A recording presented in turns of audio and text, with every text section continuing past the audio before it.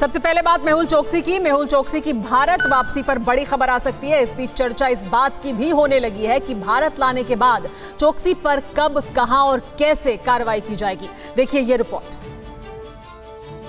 मेहुल चौकसी को हिंदुस्तान लाने के लिए भारतीय जाँच एजेंसियों ने जो ताना बाना तैयार किया है, उससे अब यह तय हो जा रहा है कि मेहुल को उसके गुनाहों की सजा हिंदुस्तान की जमी पर ही दी जाएगी।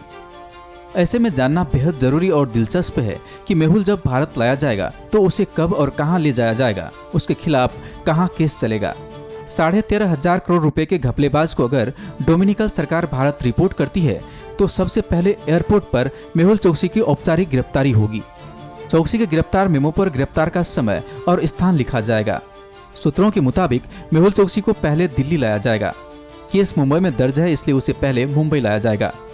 मुंबई सीबीआई ब्रांच चौकसी से पूछताछ करेगी।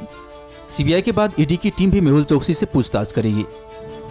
भारतीय जाँच एजेंसियों और सरकार को मेहुल के खिलाफ दायर किए गए सबूत और दलीलों पर पूरा भरोसा है।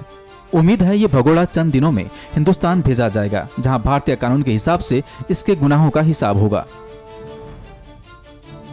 फ़िक्र आपकी, सोमवार से शुक्रवार, रात 9 बजे, सिर्फ़ टीवी 9 भारत वर्ष पर।